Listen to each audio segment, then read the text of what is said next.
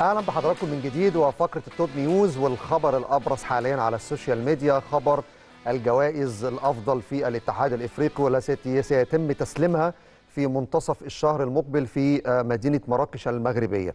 يمكن القوائم المختصرة فيها مفاجآت إيجابية وجيدة جدا. اولا بالنسبة للقوائم المختصرة لأفضل نادي في القارة الإفريقية وإحنا بالتأكيد بنحلم بفوز الأهلي للعام الثاني ولكذا مرة أكيد النادي الأهلي أفضل نادي في القارة الإفريقية ولكن في القوائم المختصرة ظهر النادي الأهلي على رأس القوائم ال... تم إعلانها من الاتحاد الإفريقي. الأهلي الزمالك نهضة بركان ماموليدي سان داونز والترجي التونسي. دول الخمس أندية الأبرز حاليا من خلال القوائم المختصرة وحصل تصويت من خلال الجماهير ومن خلال النقاد والمدربين. دول أبرز خمس أندية داخلين في منافسة على جائزه أفضل نادي. أكيد مما لا يدع مجالا للشك سيكون النادي الأهلي بالطبع. هو النادي الأبرز والنادي الأفضل في إفريقيا لعام 2024 طيب لما نروح لجائزه أفضل لاعب أفضل لاعب في الجوائز المختصرة خمس لعيبة منهم اثنين من لاعبي النادي الأهلي. البداية باسوفو دايو لاعب نهضة بركان أحمد سيد زيزو لاعب الزمالك حسين الشحات لاعب النادي الأهلي ومصطفى شوبير حارس مرمى النادي الأهلي وويليامز حارس ماموليدي سان داونز. طبعا شايفين هنا حسين الشحات ومصطفى شوبير اثنين لعيبة من النادي الأهلي بينافسوا على أفضل لاعب على مستوى الأندية داخل قارة إفريقيا.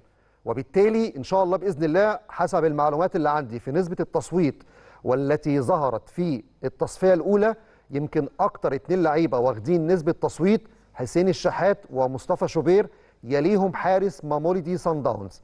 بالمناسبة لسه لغاية دلوقتي لم يتم الإعلان عن أفضل خمسة في مركز حراسة المرمى.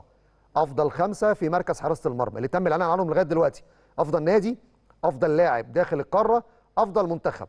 وأفضل منتخب وأنا بكلمكم دلوقتي على الهواء لسه واصلة لي حالا من الميديا في الاتحاد الإفريقي. بنتكلم على خمس منتخبات هم الأفضل الكونغو الديمقراطية نيجيريا جنوب إفريقيا الكوت ديفوار والمفاجأة تواجد المنتخب السوداني ضمن أفضل خمس منتخبات. طب أفضل حارس مرمى حسب معلوماتي إن مصطفى شوبير كان داخل في أعلى ست سبع حراس على مستوى التصنيف في اختيارات أفضل حارس. ولكن الأرقام اللي حصل عليها مصطفى شوبير ضمن أفضل لاعب داخل القارة كانت أعلى أكتر من نسبة الأرقام في مركز حراسة المرمى وأعتقد ممكن يكون عنده فرص كبيرة جدا في المنافسة مع حسين الشحات وأحمد سيد زيزو تحديدا على جائزه أفضل لاعب داخل القارة.